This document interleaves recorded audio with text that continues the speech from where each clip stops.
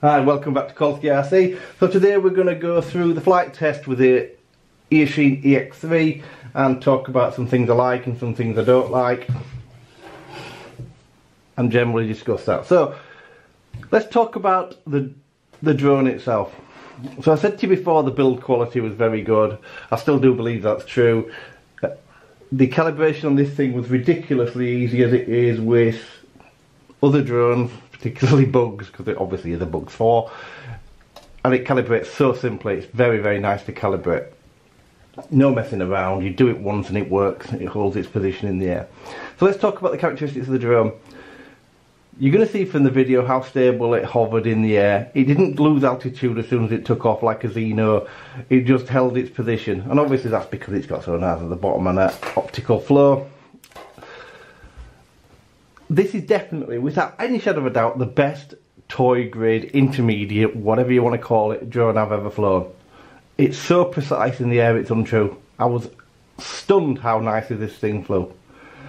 It, it's so smooth in the air as well. It's silky smooth the way it flies. You're going to see me flying it around at about six foot. It does not drop altitude like the Zino did and like a, a lot of other toy grade drones do it really did fly superbly well. The flight time I got was just worked out just over 22 minutes. So you can't fault that in any way, shape or form. The lights underneath are absolutely amazing. I filmed on quite a greyish day and you're going to see from the video footage you can pick them up really nicely in the air, even at the height I was. It got to about 200 metres before I started having any issues with FPV and you keep flying it will come back but I'd say probably at 200, 210 metres I was starting to lose it and it was dropping out. The other thing this will do is drop out if you're too close to it because I think I'm going to drop out now. I have, I've dropped out because I'm on the table now. So if you look, because I'm close to it, it's dropped out now it's come back. So it's another thing, but that's not going to cause you an issue when it's in the air. The other thing I love about this is how quiet it is. Yeah, it's very quiet in the air. I love the sound of this. The fact that the compass needs calibrating every time isn't necessarily a bad thing because of the fact that it's just that quick to do. And it does seem to, when I landed it, it seemed to need to calibrate the compass as well. The couple of things I didn't talk about uh, on the last video, the controller, you need to put these down because if you don't when you hold this, this is very back heavy. These have been designed to hold like this and fly. And the other thing I didn't discuss with you is the phone holder. So, as you can see, the phone holder pops out of the inside of here. It's not a bad design, it's certainly better than the ones that go on the bottom. And then you click it up you pull that forward and to lock it into place you just simply push it forward and it can't go back down again. And it does hold the phone really nicely and then just put weight back on it to push it back. So the phone holder yeah. Fake antennas obviously we discussed. Awful. Camera gimbals very smooth when you're flying it. You have no issue with that. Stick resolution feels really really nice. I had no issue with stick resolution. Return to home, you're going to see from the video how accurate it was. It was probably about, I don't know, a couple of foot when I stopped it, it wasn't going to hit the map, but it wasn't a million miles off it. The one big thing, the key thing to this is how stable it is in the air.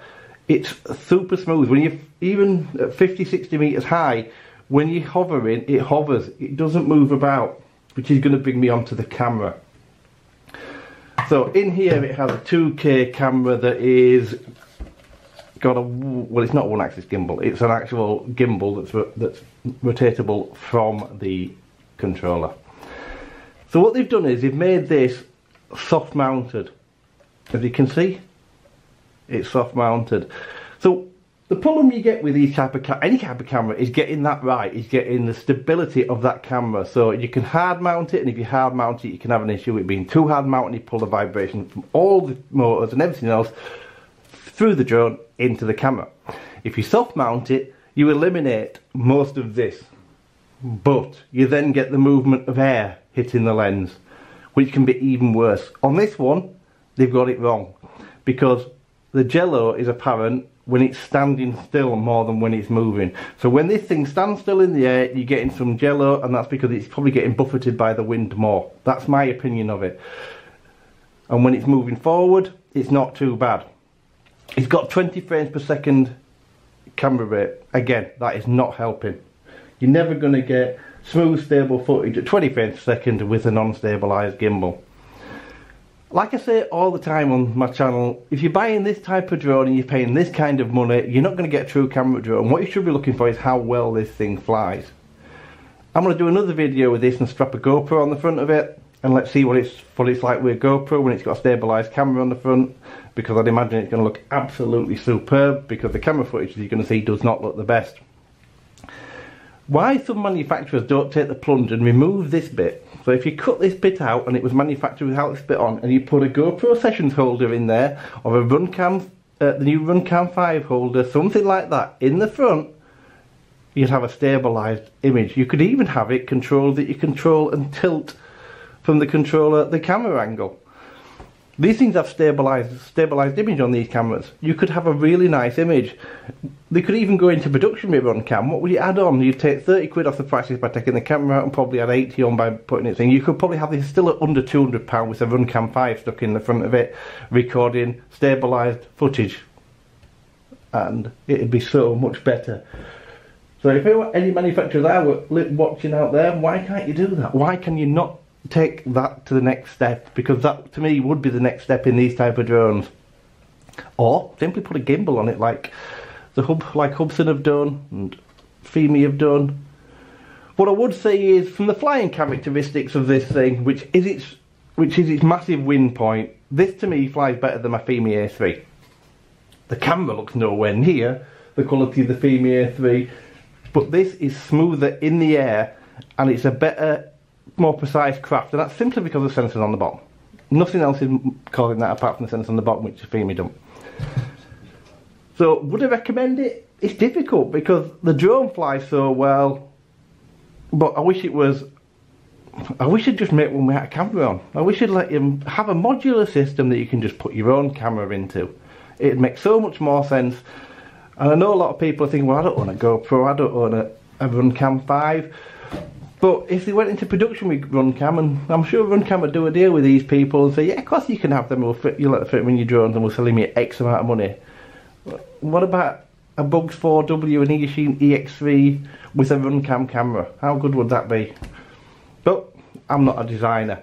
I'm going to leave you with the video footage that's coming up. The footage you're going to see is it how well it hovers, how well it flies, recorded um, from the GoPro, and then you're going to see footage of it through the screen recorder. I only did a short bit through the screen recorder. I'm not going to pan my video out with screen recordings. And to be fair, they only look average at best because you're never going to get the best resolution back. But then you can see what the app looks like, and then obviously I'll leave you with four or five minutes of footage of it flying through the camera so you can see what you do get for your money. The image didn't look horrendous at all. It's quite sharp. It's just got jello and it's not got high enough frame rate. But it doesn't really stutter, which is what I expected it to do. But I think the jello is being caused by the the combination this being too soft and the uh, megabits per second. So I'll leave you with that. You make your own mind up. Please let me know in the comments what you think. And do you think it's a good idea that I stick a Runcam or a GoPro on here, or do you want me to put both on? And let's see what kind of image you would get with it mounted on the top and how good a drone would look if you did that to it. Thanks ever so much for watching. Have a fantastic day. So this is the flight test. So as you can see, we've used auto takeoff here, and as you can see how smoothly it hovers. You can see it's not there's hardly any movement in there. There's a 4, 4 to 5 mile an hour wind, gusting to about 7, so it wasn't very windy at all, but as you can see, it's extremely smooth in the way it hovers. And quiet, so quiet is this drone, compared to a lot of the other toy grade ones on the market. So there's the lights, as you can see, we just turned the lights on underneath and they are bright. They do a good, really good job, those lights. I like the fact. You can see it's a dull day, so they do show up really nicely on a dull day. So let's just fly it about and let's see if it drops altitude. And as you can see, it doesn't. It probably drops about maybe 6, 12 inches max and then recovers as soon as you put the throttle back on and give it some forward motion so yeah really nice really really nice the way it hovers so I'm going to let you enjoy the rest of the video you're going to see me do this a few times and I'm going to do initiate the return to home to see how close it lands And then after that, I'm going to show you some pictures that are taken from the camera. Tell me what you think about them. And then I will go straight into the footage recorded to the screen recorder. And then obviously the footage recorded from the SD card. Have a fantastic day. Thanks for watching.